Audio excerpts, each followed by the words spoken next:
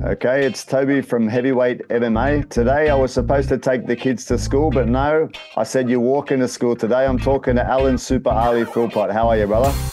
Good, my bro. Good. How are you? Good, man. So tell us what you're doing right now. You're doing recovery and uh, what is it? Yeah, it's like an H-bot machine, so it's like the oxygen chamber. Usually you have this little mask on as well. Um, but I'll, I'll take it off to speak to you. But yeah, it's about recovery. Um, Feel Good Nation is one of my sponsors. I come here for the red light therapy and then the oxygen chamber, sitting it for an hour. So usually I don't have my phone, but he let me use it today. Nice, nice man. So tell me about uh, your training, bro. You're in the thick of things right now, preparing for your fight on the 10th of uh, February, right? Yeah, yeah, um, yeah, man. Honestly, things are going great at my end. Uh, no, I truly believe that this is the best I've ever been. Um, no, it's I, I said recently in another podcast that you, know, you always think you push the hardest, and then next thing, the next camp, you find something else. This camp, no, I've I've went deeper than I've ever thought. No, I'm fighting for five five rounds. I've never um done that before, so I know I've had to step up even more. And no, all over Christmas and the holidays, everywhere was shut. So all I was doing was focusing on my, my conditioning and running and get, getting fit. And uh, now that the classes are back, it's, it's coming into it, and I feel like I'm so far ahead than I've ever been.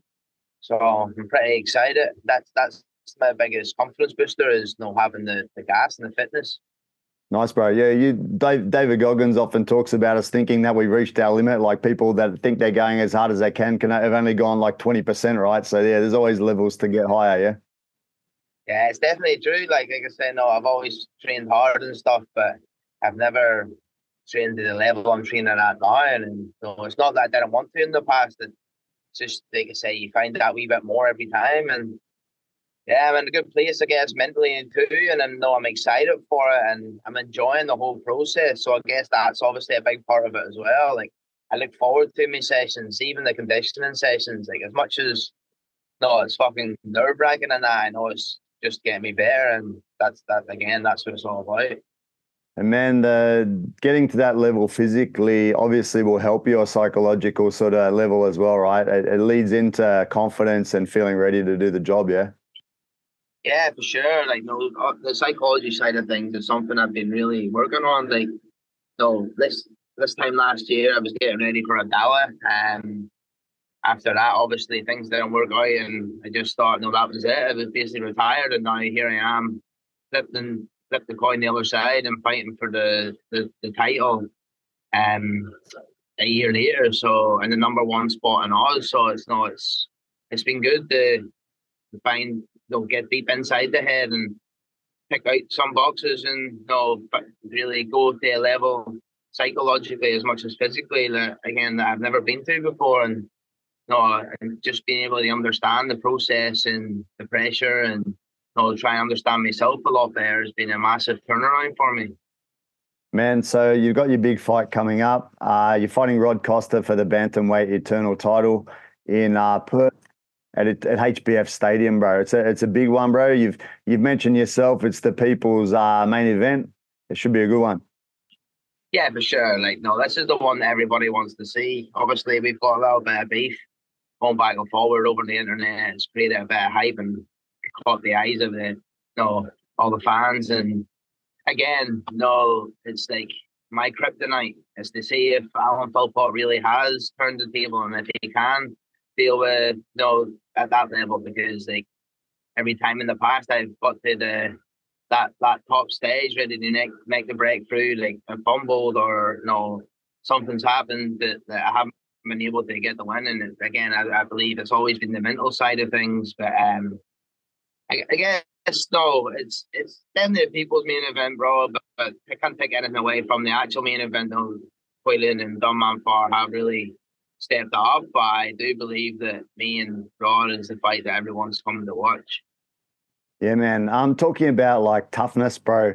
Rod Costa, you you guys have your beefs and that. You respect his his skills, especially in the BJJ area. But the other thing he does have is that toughness, right? Like he's been through some wars and he's gotten through. He may not have won the fights all the time, but he's pushed himself through some big wars, right? So you got a pretty tough opponent ahead of you.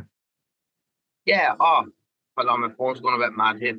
Yeah, hundred percent, bro. Like he's probably the best punch bag in Australia. You know what I mean? Like he's no, he's. I'll give him credit. He can he can take a shot. I know that he's not going to be uh, easily put away, but I do believe that I can put him away, and that I'm totally different to anyone he's ever fought before. You know, like people get in front of me and they, they watch me and they think they can figure me out on the feet and stuff, but no one can figure me out on the feet, bro.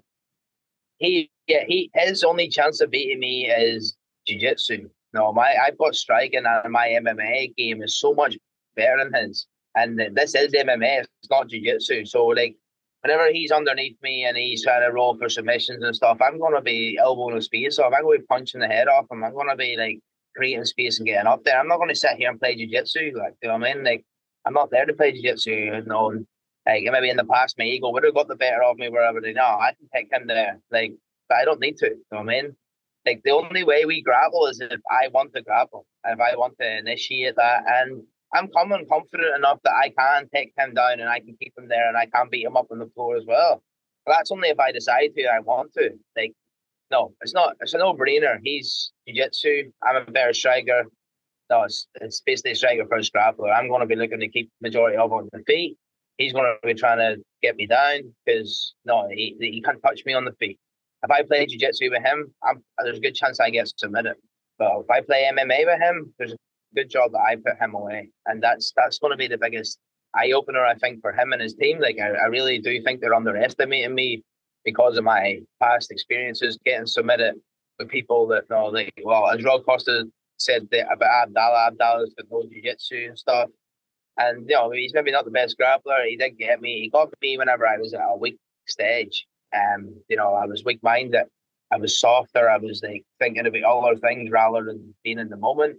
And so I've changed a lot in a year. Um, and I hope he has too. I hope he's done what I've done. And like after them two losses, it really dug deep, went there, fixed them holes, worked harder than ever, and done here the best he ever had. Because I don't want the Rod Costa that's been there the last previous experiences because that's not a Rod Costa that's on our level, and a, a Costa deserves to be the number one.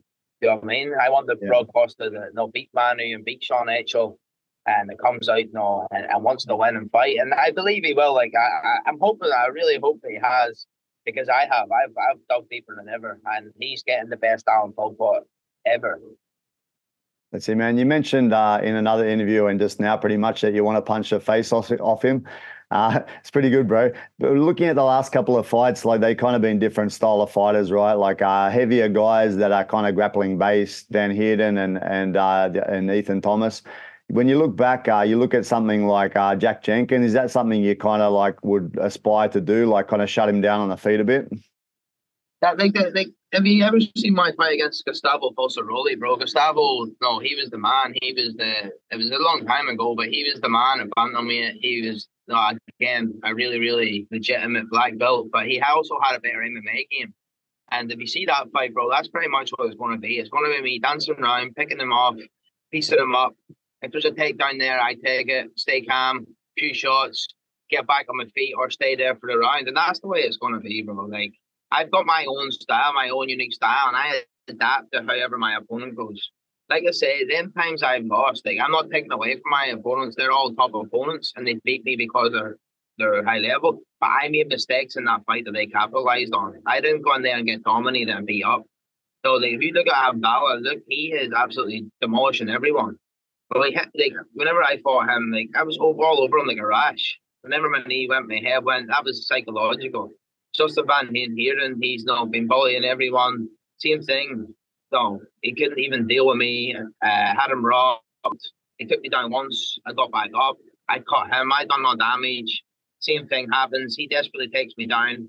I fall in, and instead of being smart, I make the mistake. He submits me, it's the same as the Diego fight. But no, that's not an excuse. I'm not making no excuses. Them boys deserve to win. They beat me fair and square.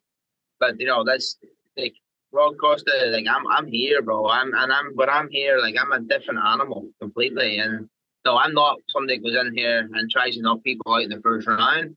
Like I can beat him up for five rounds, and I know he can be beat up for five rounds. But I truly believe that the level I'm on that I'm ready for five, but I don't need more than two rounds. I'm I'm confident I put him away inside two rounds. And that's not being cocky, that's pure confidence. And that's because I believe I, I'm on a level that no one's seen over here yet from me. Nice man. And and I understand that your goal is to like take him out on the feet a bit, then scissor take down to heel hook. That's the correct uh, prediction. Yeah, yeah, so I'm gonna come out and do like a flying knee, dance around, little calf kick, and then jump in for the scissor or an Imanari roll, maybe. that's the way. That's what we want to see, bro. We want to see flashy finishes, and finishing him with a heel hook would be awesome. Well, bro, I'm telling you, bro, like, like my leg lock game's really, really been coming on because obviously I've had they work the defense, and you know, so it's, it's making me, you know, starting to counter attack and stuff, and I've been getting some serious grappling in for this, bro. Like, I'm not gonna lie, I've some high level guys and they've been smashing me and I know it's, it's it's boosting me confidence because I'm seeing progress with them. Um, and that's just straight jiu-jitsu. That's not like strikes. And then sometimes I'll go in there and I'll like purposely play an MMA game there. I'm just stalling, holding position, and it's like I'm not being touched at all. Like I'm not being dominated as such. I'm not getting submitted. If I'm in positions, I'm able to scramble, get back up, and you know, like I'm with a team now that's all round. And Luke is a great coach, and his style of coaching is perfect for my style of fighting. So it's like we're just bouncing off each other. The energy's high. You know, Chris is now on the card as well. Um, so there's a good energy, good vibe. Got a couple of amateurs all getting ready for the fights. So yeah, man, like honestly, I'm just so so excited for the fight. Um, still got four weeks left, which is even better for me because oh, it's even more time to get better again. And you know, if I feel, I feel ready, bro. I feel like if we were to fight this weekend, I'm ready to go. Nice, that's a good thing, bro. So, in a perfect world, bro, how many fights would you expect to have in 2024, all going well? Well, I want to be good three or four, bro. Three or four, like if I'll get this, then defend it. No, um, if if it don't get signed after this, which I might, I might not. Um, if it if it was to get signed, obviously it's different. If it wasn't, I would love to get um defend it in Sydney the main event in Sydney would be massive.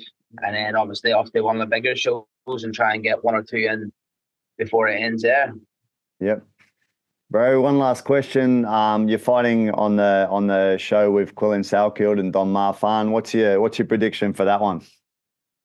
It's a hard one, bro, because I feel like Dom Mar Fan's uh, got a lot better from their first encounter. Uh, but you know, like I really like both fighters. I like both their styles. They're both young, and uh, no, I'm, I'm, glad I'm not their weight class to be honest. But um, I think I think Quillan might edge it again, bro. Like I think no, it might be a little bit closer, but uh, I can see Quillan and probably taking over at some stage. Maybe get the finish later in the rounds, or like you know decision his way. Cool. Thanks, bro. All right. So we got Perth, February 10th, Eternal 82, HBF Stadium. We'll see Alan Super Ali Philpott trying to get the title from Rod Costa, man. Good luck with it. All the best. Thanks for your time again. Appreciate it, bro.